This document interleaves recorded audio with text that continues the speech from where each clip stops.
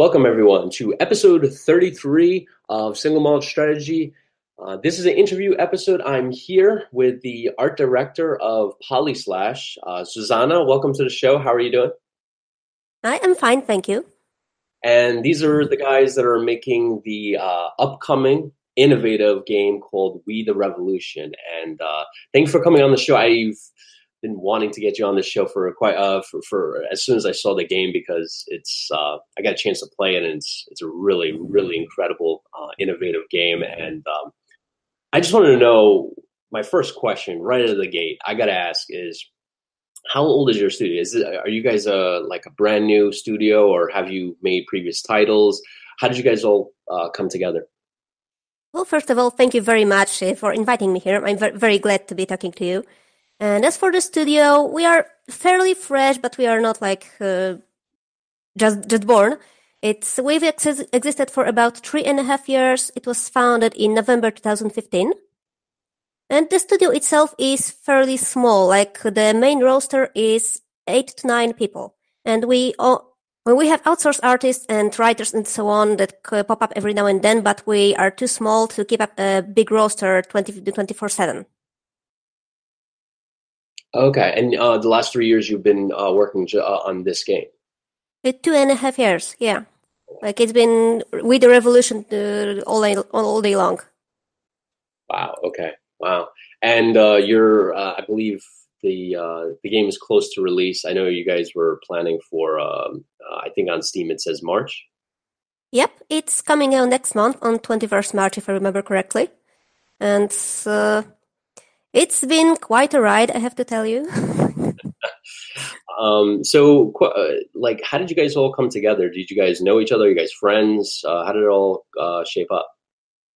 Uh, several people from the team were just left over from their first game, Phantaruk. And the rest of the team was just formed over the years when recruited, you know, one by one. Because the, the previous game was a 2D game a 3D game, I'm sorry. So we had to switch to a 2D based, based team. We had to hire different writers because this game is much more story based and so on. So just the first several people knew each other and worked together on the game, but uh, a big share of the studio was just formed because that's the sort of people we needed. Um, so what inspired you to focus on the French Revolution? Because We the Revolution is focused on, um, I believe the year is 1789, if I'm not mistaken. Uh, 17, uh, 1794, yeah. Well, my, my, French uh, history is not. I should have, you know, I should know it since I, I just literally took a course in uh, world history, and a section of a whole week was focused on the French Revolution. But my memory is uh, the older you get, the uh, you know, older, the harder uh, knowledge inside. You know, it's it's a very difficult period to learn anything about because it's like five years where there's just so much packed into such a short time frame, and this is exactly why we chose this uh, this period because the story we are telling is a universal one. It's not just the, something that could happen only during the French Revolution. It's about universal things such as how far you are willing to go to grab power, just how society reacts to such upheaval. Like how much people are going to take and how much they are going to dish out if you put them to put them too far. And the French Revolution is perfect for this because, as I said, it's been five years, and during those five years, you could see the full spectrum of emotion of all the social consequences of the things that came before and the things that would come later. Hmm.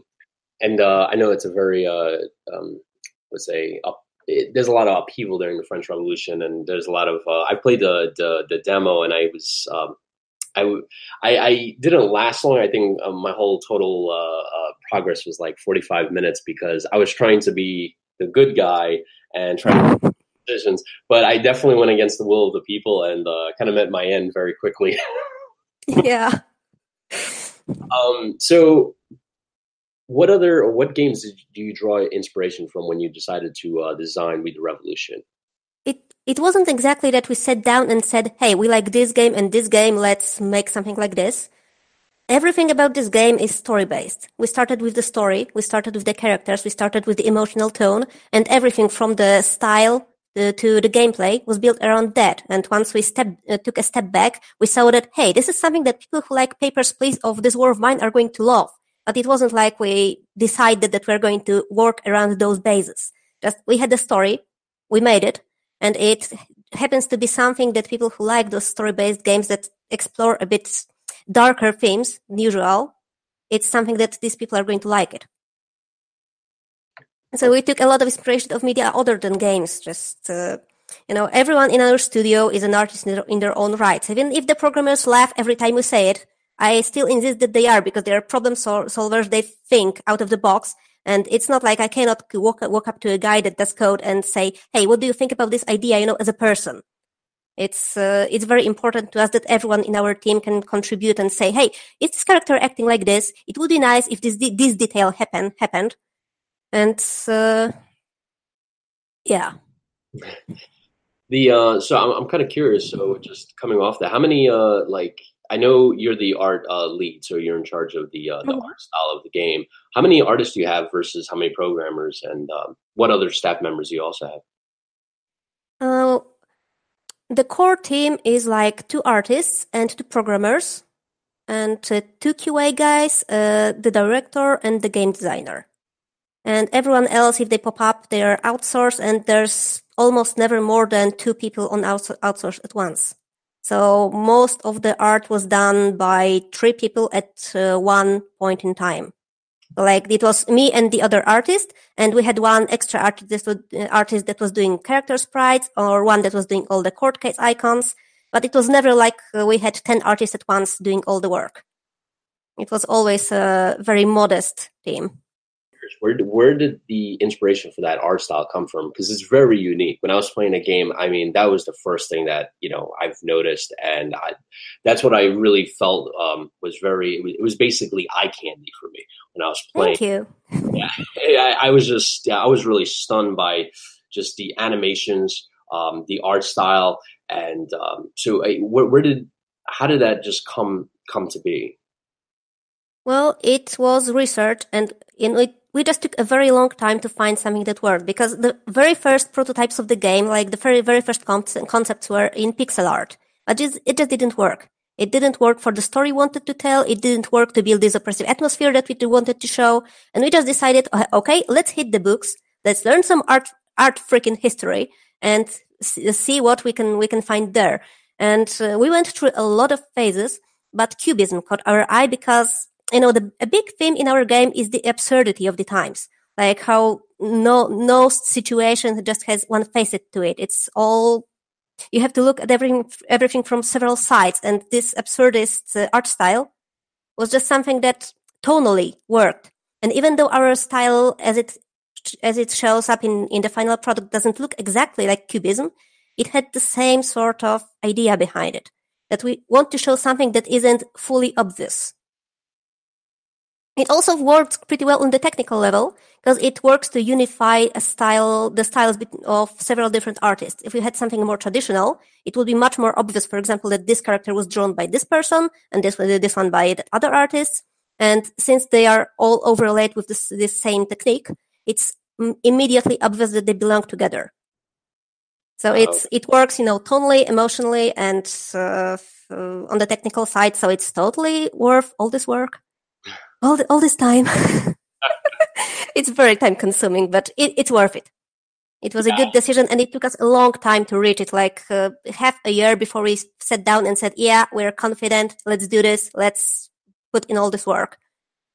I'm glad you guys didn't go with pixel art because the, the current model, uh, current art style is just, it, it's beautiful. And, uh, you know, j- even seeing it in the trailer on Steam, I mean, that literally i mean that's what first kind of like sucked me in was the trailer it was just uh it, it had you know it, it, had it kind of sucked me in immersed me and it, and it, got me very interested not only with the art but also with like uh, the, the the, the dramatic feel of it and that's why i was uh that's why me and uh, the historical gamer were just you know uh kind of immersed in it Thank you. Yeah, a lot of people from our studio have backgrounds in different media. For example, we may have an artist that worked in not only games, but also in movies. The game director was uh, also a movie director. So the game itself has a very cinematic feel to it. And I have to agree with you. I'm also super glad we didn't go the pixel art route because like it, it would be cheap. It would be easy, but like at what cost? Yeah. yeah. well, I, we are just a bunch of masochists. I mean, uh, you know, pixel art is good in some games. Uh, I'm just thinking of like Terraria is a good game. Um, but I feel like, you know, this one definitely, um, I think I feel like a game is a work of art. You know, there are some games that I've played that look absolutely stunning and beautiful, and you know, I, I, I usually compare some games like uh, Afghanistan 11. Um, has some incredible visuals, and I usually compare like I usually compare these games to actual like works of art that you you know would go into the museum for. I feel like the both kind of work together. You know.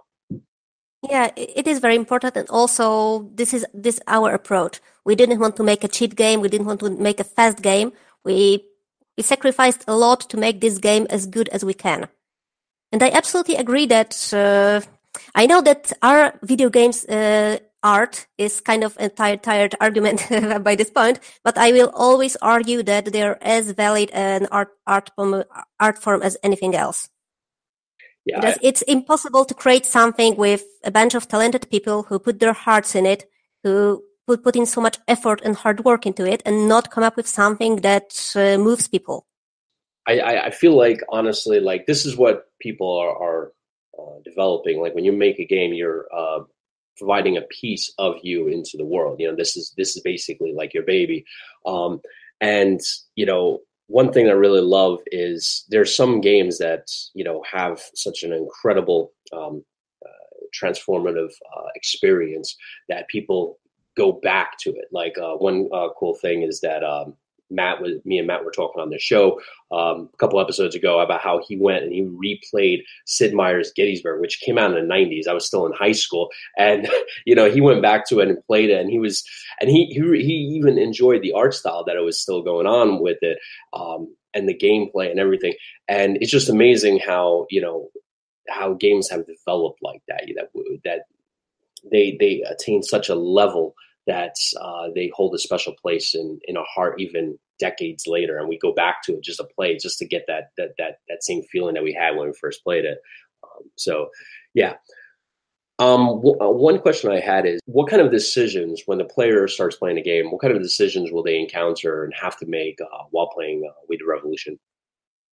It'll, I could say, it will be divided into two things. Like one thing is day-to-day decisions. You just you mentioned that you had trouble surviving in, uh, in, in the demo that you played. And it's just the sort of decision that you, you see an accused person, you know he's a freaking asshole, and you have to let him go. Because if you don't, the audience is going to get up and kick your ass.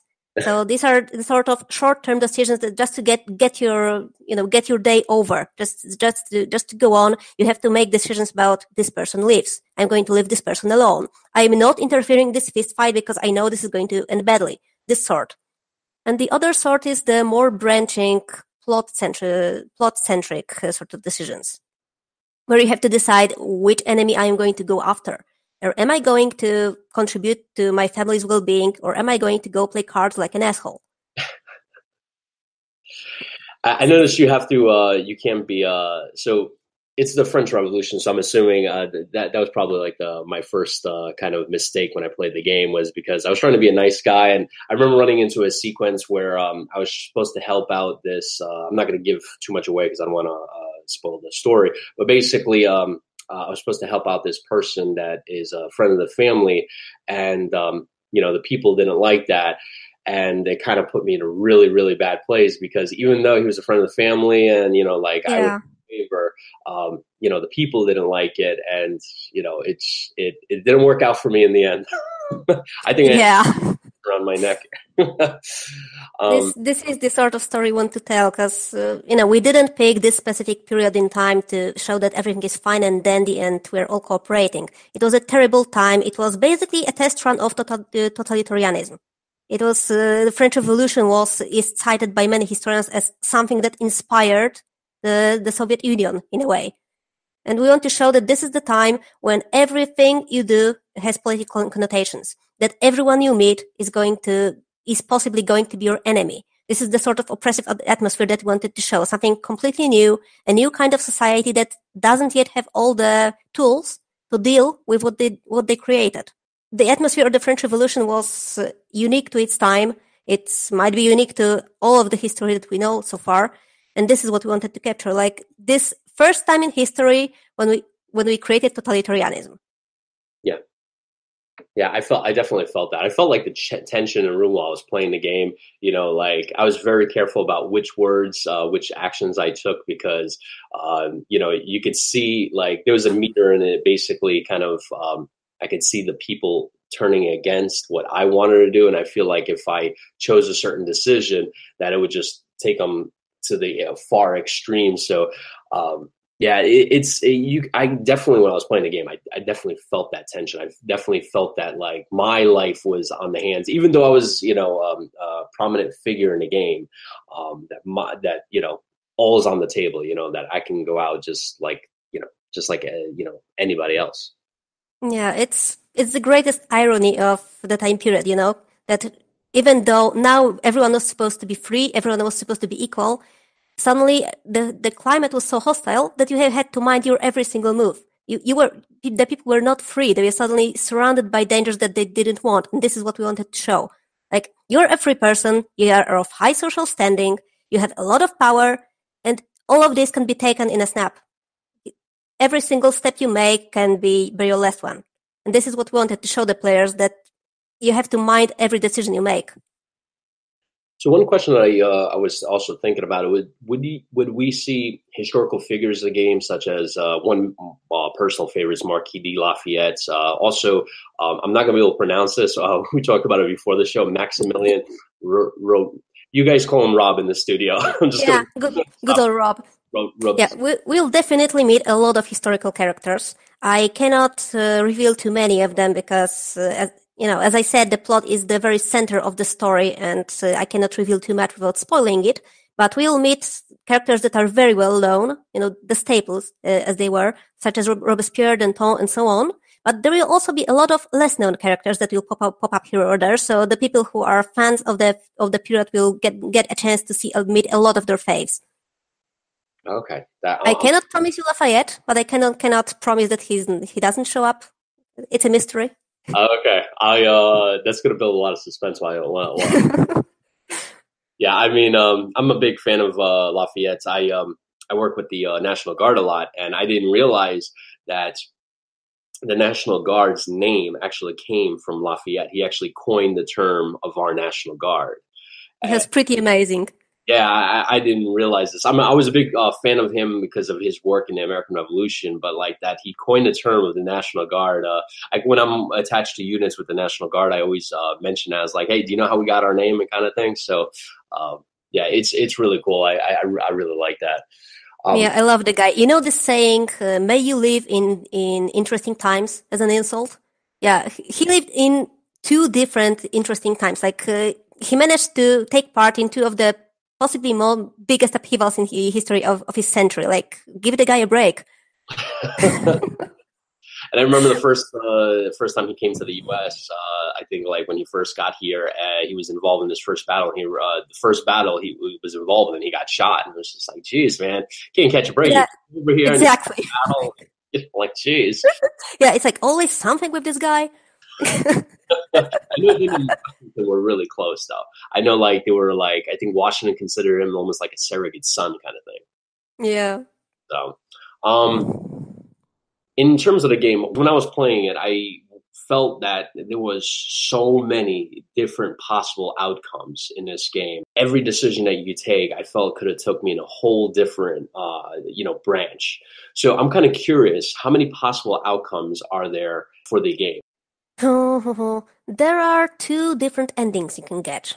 Okay. There's uh, the biggest differences are in the playthroughs in uh, themselves. They are randomized, randomized to uh, the degree. As you mentioned, you can one one time you can be doing much better because you got court cases that you could solve easily, or another time you spared someone and then it was dragging you dragging you down for like five solid days, which is a lot in this game. And uh, it's more about the journey than just getting a different cutscene at the end after playing this the same way. You each time you have to put the ending in the context yourself. Like, what sort of person were you? Like, do you deserve what happened to you? And I notice you have uh, in a game you have a family, so that comes in. Um, you you not only have to think about yourself, but the continuation of your family line. Yeah, exactly. Also, I have to mention that you know we are a pretty small team, and we had to just make a decision. We could create a shorter game with branching and uh, a mas- much less concrete story, or we could create a one one concrete story but put all our heart into it. Like uh, there's so many dedicated assets, like the court court case characters just themselves. There's 100, 140 of them, and they're all custom made. They are not just randomized from elements. They are all drawn. They're all polygonized. They're all animated. There's like 40 cutscenes. There's uh, I don't even want to count the events. Like ev- every bigger court case has its own icons, and you know if you went for a more branching story, in one playthrough the player would seem so much less than that. We just had to choose because we unfortunately don't yet have the resources to make the story as big and as branching as we could dream. So we just bet all our money on telling the best single story that we could. And uh, we do believe it, it was the right decision. That we poured our heart into this and it's just a much stronger core as it would be if we try to stretch ourselves. You guys have been working on the game for um, about three years, right? Um, mm-hmm. I'm kind of curious. What's the most challenging aspect of designing and developing this game? If you had to choose one thing. Mm-hmm. Oh, well, for one, there's a lot of different gameplay mechanics that the player is going to encounter because, as I said, the gameplay grew around the story. It was meant to complement that. So it's not only varied, but we had to put a lot of effort to create a synergy between them so that the gameplay prop ups the story, that the story fuels the gameplay, and you can, uh, so the players would immediately see that they are inter- intertwined. So that was a di- difficult thing from the production standpoint. It took us a long, long time to get it all just the way we, that we wanted. And as I mentioned, there was just so many assets to draw. Just, just so much stuff to do. in the game, uh, so I, I, I want to kind of like see if we could set up this setting. Uh, I don't, I don't want to like unveil too much, but um, is it possible that we can uh, mention the main character and his position, or do you guys want to keep that part of the actual, uh, the, like the game? Do you, you want to keep that on the mystery? Yeah, of course I can talk about him. Well, the player steps into the shoes of Alexis Fidele, a freshly minted judge of the Revolutionary Trib- Tribunal, and privately a huge mess he's a father of two, a husband. He's also a drunk and a gambler who has a very strained relationship with, relationships with his family. And now, on top of all, all this mess in his life, he's also given a very stressful, very responsible position that uh, at any second can result in him being dismissed or even killed. So you have to navigate a lot of stress. There's a lot of pitfalls you have to avoid. Okay, wow. Um, so th- that's uh, yeah, I, I've, I ran into a lot of those pitfalls. yeah. Uh, There's so many ways you can die in this game. Like I could make an art book just all just of all that. Yeah, but I I, I gotta admit, uh, the couple times that I, di- I did die, I kind of enjoyed it because it was a unique way of kind of uh, me dying with, especially with the like I mentioned before with the art style. But it was like that was pretty interesting to see. yeah. Uh, so uh, what other so besides uh, we, we put the setting there what other unique, unique me- mechanics are we going to run into this game is it uh, like are we we're, we're basically like uh, in charge of the tribunal uh, or one of the tribunals. So we're in essence like a judge.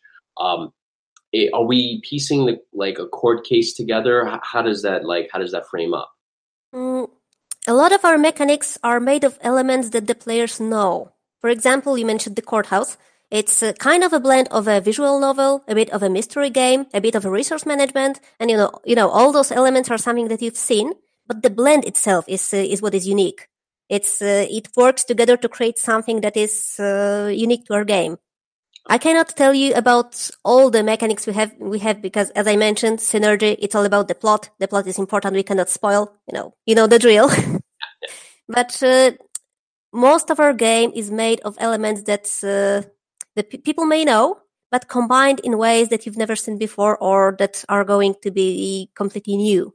Also, what the main unique thing about our game is just that it's it's going to, be, to sound maybe a bit sappy, but it, it is made by us. You know, we are we are a team of artists. We are putting our best, and it just uh, it's it's impossible for something that is made by people who give it their best, who who all take care to add little detail, details to make the game more real, more lived in, not to be unique.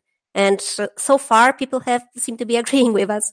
Kind of uh, jumping off that, I, I, noticed besides the art being beautiful, and we discussed this numerous times, uh, one thing I also took away from the game was the uh, amazing music and sound effects. Um, uh, so I was kind of curious: was that another key feature that you guys uh, focused on during development?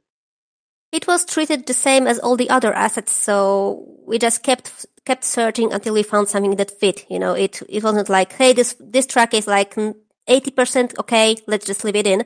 No, we took a long time, about one and a half years, uh, getting all the tracks in the game. The final soundtrack should be about an hour. There's a lot of dedicated tracks. Like there's uh, most important plot moments and cutscenes have either dedicated tracks. It's not like you have one for the courthouse, one for set, set scenes, one for uh, happy scenes. Let's go.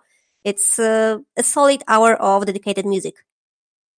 Yeah, I noticed in some of the cutscenes, uh, it was really, um, there was a couple of scenes that uh, after takes place during gameplay, and uh, it, it, was very, I would say, unsettling because uh, it, there was a scene where you know I'm with family and uh, we're talking about um, some serious stuff, and you hear the crackling of fire in the back, right? There's no music, uh, but you, you have this like that crackling of fire and the, the conversation it, felt so unsettling. And it, it, it, immersed me more into the game because you know usually a lot of uh, development studios put in like a like a background audio.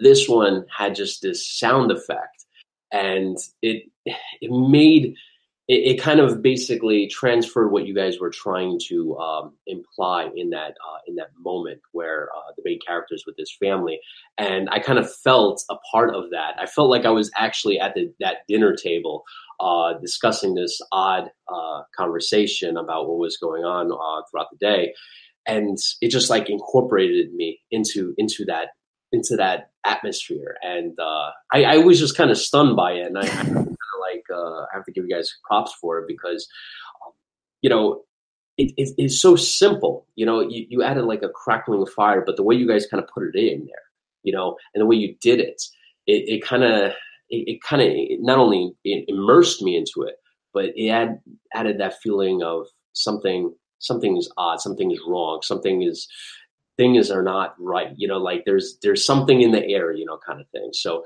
uh, I was just really uh, I wanted to you know kind of mention that because uh, I, I did take that away from uh, my uh, my demo. Thank you. I'm very glad that you noticed it. yeah, it's it's one of those places where, for example, the movie background of our director shows because it's such a movie trick, right? Like it's not something that you see in a lot of games, but it's a, exactly something that you would see in a movie or maybe in a play and this is the sort, the sort of atmosphere that we wanted to show to, you know, use the entire arsenal to create emotional responses. And it, there's a lot of moments like this in the game, and I'm very, very glad that you, that you enjoyed this one. so if you had a, like, uh, you were mentioning how, how um, many cutscenes there are and how many decisions, how long would the average single player experience be for, you know, if, if you just, if somebody just brought this on Steam, how long would it take me for, uh, to play out the whole game? It honestly very much depends on the playstyle. There's, a lot of reading in the in the game. You have to you have you have to read the court cases. You have to make decisions, and you know some people breeze through breeze through them. They see, hmm, this, this faction is going to do this. If I do this, okay, let's just chop the guy. I don't care if he's guilty. And there's those who are going to read every court every court case, and it's yeah, that's it fl- fluctuates wildly. Seriously, like it's it's not a super fast game, uh, I think people are going to get good value for for their money because even now that we are playtesting it at, at work, it's uh, 20 hours is like a modest estimate. It, it's it's a long game and it also quite depends on how long you're willing to spend with each, each case. I think for me, it'll probably be 30 or 40 hours. I'm one of those people have to read every little thing. I was actually during my demo, I was going through every little uh, scene, right? trying to read everything because, like, yeah, I like getting all the information before I make a decision. You know, uh, I guess maybe if I was 18 or, you know, 19, I would probably just like click, click, click, click. Yeah, he's guilty. He's, he's innocent. That guy looks good. Let me uh, make him innocent, you know, kind of thing. You know, it's hey, that guy's well dressed. He's probably innocent, kind of thing. So, um, so I'm kind of curious. This is a very innovative engine. This is a very innovative artwork. Uh, so one kind of thought that I was running through my head was, what are the conflicts in history? Do you see this engine, this design, uh, a good fit for? Mm, to be honest, it's not exactly like we are going to sit down and say, "Hey, let's make We the Revolution, but in in space." you know, it's we are. Um, our core principle is always going to be the story comes first. So when we next we make our next game, those, this will be what we start with. It will be what kind of story we want to tell, what sort of emotional tone we want to set, and we are not going to take this engine and try to twist the story into it. But rather, rather than that, we are just going to build gameplay and the style around what we want, want to tell, just like we, do, we did with, the revolution. So perhaps we might use one or two mechanics that are going to fit well, but I I just don't think it's a shortcut worth taking. You know, if, if it's not going to be perfect fit, it's better to put in more work to try and come up with something else than to try and use something that worked just because it worked. You know, like uh, as I said, we're masochists. We are not going to take an easy way, even if it's uh, you know understandable. No, we want it to be perfect. Want the hard way out. yeah, exactly. Nothing is easy. yeah, dude, when you were talking about like um, earlier before, like uh, I, I, I don't know if we talked about it in the post show, uh, pre show, or actually during the um, uh, during the interview, but you mentioned uh, like the Russian uh, Revolution, and when I was you know as we were talking about this, I was kind of thinking, I was like, you know, this would be really like this system would really would really work for like the Russian Revolution, you know, especially like maybe after Lenin died, the kind of struggle between Stalin and uh, there was some other guy, I forgot his name. Uh, half the audience is probably saying it, but I can't think of the guy's name. There was Stalin. Trotsky? Yes, there you go. Yeah, him. that that would have been, uh, you know, that would be really interesting. So, um, um, the question I have for, and I'm, I'm, I know you guys are developing for Steam, and I know it's uh, for PC, but um, are you planning to add any future platforms in the future or considering any future platforms like the mobile platform? Hmm. I, PC and Switch are uh, confirmed, and everything else is in, the hands of the publishing gods. Like, uh, I know that mobile is uh, a possibility if the game sells well. But I cannot promise anything beyond PC and Switch. It's just going, you know, as fate wills it. Okay. And so we are we are, ho- we are hoping to bring it to as many platforms as possible, of course. Okay. Like it's uh, we will do everything in our power so that as ma- as many people can play it the way they want uh, as possible. So it's going to be on the Switch. Mm-hmm. Okay, I might have to pick one up. I'm a big uh, proponent of like mobile gaming. I, I really love like when I when I go to work where I'm on uh, duty and stuff like that, and you know we're eating chow or something like that. I usually love getting my iPad or iPhone and you know firing a game up because um, I'm always on the go and I'm not home a lot of times to uh, you know play on my desktop. So um, uh, if you guys are putting it on the Switch, I might have to put that on my uh, to my buy calendar, you know, kind of thing. Uh, so that, that that's really good to hear that you guys are considering mobile because um, I'm a huge proponent of that. Um, uh, his, Matt will tell you we, we talk all the time. I, every game that I play that I'm a big fan of, I always want it on the iPhone or iPad, so this way I can play it wherever, whenever I am. Yeah, it's so convenient. I I also love it. So that's pretty much all the questions I have. Uh, I wanted to, if I missed anything, do you have anything you wanted to mention or anything like that? Uh, there is one thing that I wanted to mention about the, when you asked about what sort of historical conflict, conflict we could use for this engine. Yeah. Well, to be honest, every single moment in history is interesting because there are always people living their lives, losing their lives, having their aben- appended. There was always something that people wanted, they could get or couldn't get. And I cannot say that, you know, this decade is interesting. Let's, let's throw all the rest of the trash out because always in every story, there's an emotional core. And when there, there is that core, it doesn't matter if it's set in space or, uh, or in, I don't know, revolutionary France or in the medieval times, because what you're looking for is something that you can relate to. You know, emotions that the people who live on the moon and the people who lived in Spain in the 13th century could feel. So every, it's not, we can consider every single moment in history something that is worth looking into and meeting these people, you know, getting to know them. That, that that's a so I'm very excited to see what path you guys are going to take. So because this is opening up a lot of uh, curiosities now. So you, you guys are you know I, am I can only imagine the, the kind of uh, periods of history you guys are thinking about. I'm assuming you guys are already at, you know at your studio probably already uh, projecting where you guys. Yeah. We have a lot of ideas. It's uh, the biggest difficulty is going to be just to pick one. You know, you know how it is with game devs. Like each of us has twenty ideas for a perfect game. It's uh, it's picking the one that is most most feasible and that everyone else agrees that is good. That is the hard thing. And the French Revolution is uh, the perfect first game for uh, because everybody is interested in the French Revolution. You know, uh, I know a lot of the games that I, I play, they actually do an, um, a Napoleonic uh, French Revolution kind of uh, modification or DLC. And um, you know, the French Revolution is something is very, very attractive moment in in history because you know it was when I was taking my college course, they were talking about how the French Revolution was very different from every other revolution in history. It was a social revolution, and I, I was that, and uh, it was supposed to collapse the old system of you know um, inequality in terms of uh, economics and um, racial inequality and and um, and financial inequality and all this.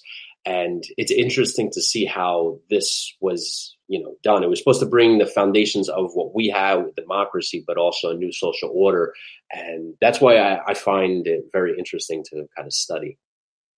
Yeah, I have to admit that I didn't know that much about it before I started working on this game, but I, I just fell in love with the period. I I've read so many books about it. I've always uh, keep, I keep looking up references about it because I just I want to know more. It's fascinating for for all the reasons that you mentioned. It was something completely new. It wasn't switching up the, the king, you know, installing someone else. No, they created something entirely new. One day they looked up at someone that was for all their, in, all the intents and purposes God, and they said, no, we are fucking done with him. it, it, it was completely unprecedented. You know, the American Revolution was precedent. Yeah, but it didn't go in, in the same direction as the French Revolution did. It was much more orderly. It was much more, uh, I don't know to say successful, but it didn't end up the way the French Revolution did. The, the French Revolution is completely unique in all the ways, and I've I just love learning about it. I want to I want to know everything about it. I'm I'm the same way. I one of the uh, pieces that I kind of want to um, kind of dive into is uh, I wanted to know more about Lafayette. That's actually what I, probably one of the next books I'm going to read is more Lafayette's um, contribution during the French Revolution. When I was in class, I was trying to find out more and more information from the professor about Lafayette's role. Um, but I, I, I, think the reason why the American Revolution, because American Revolution, when you know we we separated from England, um, there was a movement, from what I understand, toward the end of the Revolution to make George Washington king, and he was unlike any other, uh, I guess, politician of his day because he just wanted to go back to his home, back to his farm. And I think what shocked a lot of people was that he just decided he was given like power to actually run an entire country to be king. And he was like, no, I'm good. I'm going back home. Y'all have to mm-hmm. and go back home. And, you know, I, I, it's very unusual for something like that to happen. And I think that's probably what saved America in in, in one aspect because uh, you know if he decided to just be king, uh, I think we would have went down a different path. But because he came back as president, and he was kind of, from what I understand, forced to co- uh, to be president. He didn't want to even be go to the Constitutional Congress, um, to the uh, to the um, what do you call it the the I'm trying to my memory's uh, really shot, but he didn't even want to go to the Constitutional Convention, uh, but he was kind of like not forced, but he they, it was a kind of like a sense of like trying to push him to do it, and you know, thankfully he did because uh, if he didn't go, from what I understand, we wouldn't have the United States. So, mm. uh, but yeah, that that would probably be uh, I'm it would be that would be another nice period of time for you know maybe you guys to into because you know American Revolution. I know it's like you know when you look at strategy games, it's not or, or RPGs. That's not like the most attractive period. It's usually the French Revolution or uh, World War One, World War Two, or uh, Russian Revolution kind of thing. It's most you know more, uh, I guess, attractive to a lot of gamers. But I'm a big fan of the American Revolution. So in the future, if you guys doing that, you know, my, my thumbs up is for that one. um, but yeah, that's all the questions I have. Um, and um, I really appreciate you coming on the show. Um, thank you so much for coming on. I, am really, really excited for this game to come out. I cannot wait. Uh, I recommend everybody listening. Uh, for me, this is a must buy just by the art style alone. But I got to play uh, an hour or two of this game, and uh, I thought it was incredible. So I can't wait. Thank to- you very much for inviting me, and not to be sappy, but it it means so much that you're so enthusiastic, and it's just so great to see that. That uh, I I just hope that the, the game lives up. Well, I played uh, about an hour or two of it, and I can tell you that for the hour or two I played, uh, I was totally enraptured with this game. So uh, thank you thank for you. that. I can't wait to get uh, you know. I'm so glad. Thirty hours into this game. All right, guys. We will catch you guys in the next episode. We'll see you then. Bye.